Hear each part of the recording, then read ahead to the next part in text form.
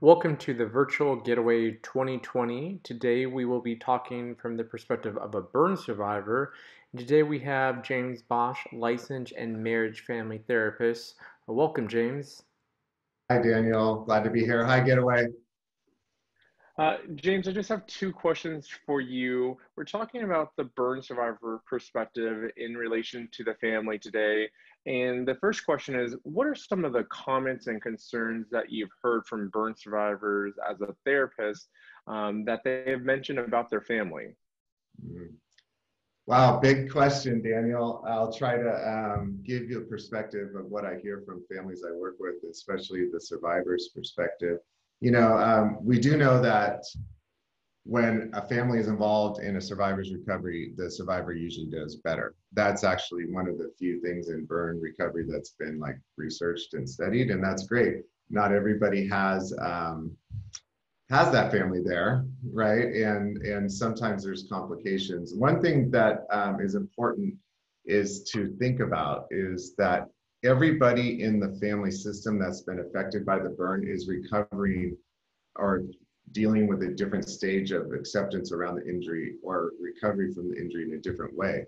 Uh, especially if the family member was the first responder, like they found the person, the survivor, and helped them or got them help, or the family member has some kind of feeling of responsibility or guilt that um, they should have prevented that, I should have been there, or I left the I left that water boiling and walked out of the room, whatever, you know. And so there's all these complications, and, and everyone's dealing with their own processes. And the survivor, um, you say, how the question is what I'm hearing is what, how can the survivor ask and incorporate help from the family? And I think it's important to think that the survivor actually doesn't often know what they need at the time of their injury and when they're in the, the complicated stages of treatment or later. So I think the number one thing is um, from the survivor's perspective is to realize that everybody, including everyone's struggling and that communication is going to be key and it's often going to be messy.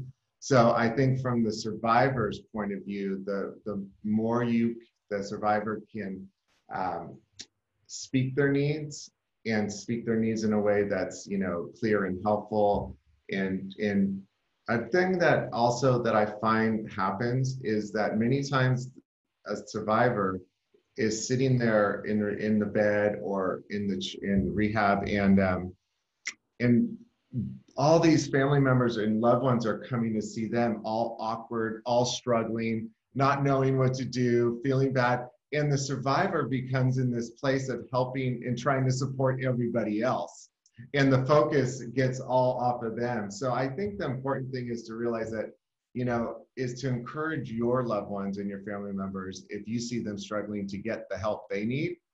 The family support group the Burn Foundation does, the different um, services, therapy um, groups.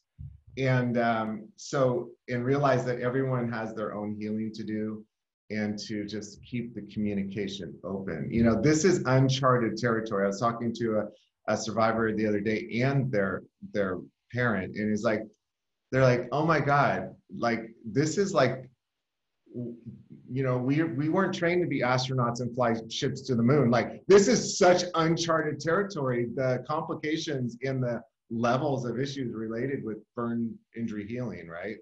So not just the healing but then you have okay stepping out of the hospital and our lives what is our lives now? So um, I just think communication, realizing that um, you don't have to take care of everybody, you have to take care of yourself, and you can ask other people to take care of themselves.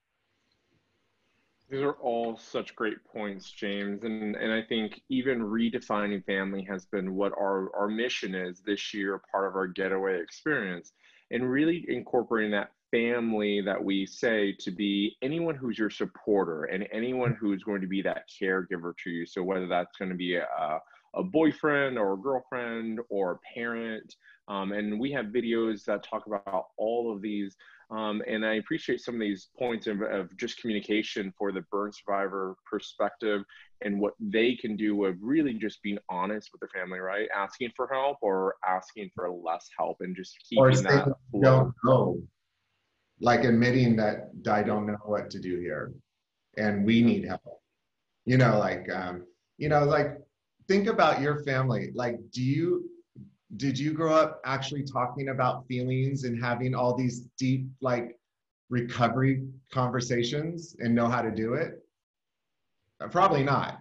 And so all of a sudden you're expected to. So you realize that you're going to have to maybe get some skills and it's going to be a little messy. Um, I think another thing in the family systems that um, I often hear is this whole the whole role reversal that happens.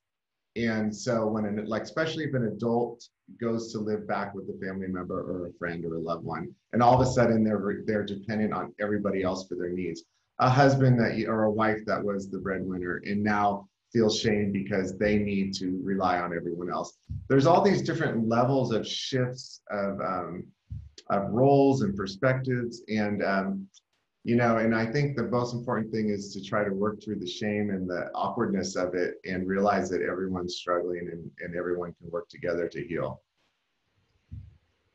Well, thank you, James, for sharing today and giving the perspective of a burn survivor, uh, and thank you everyone for watching today's video. For more information on the Alisa Ann Ruch Burn Foundation, please visit our website at www.aarbf.org. Thank you.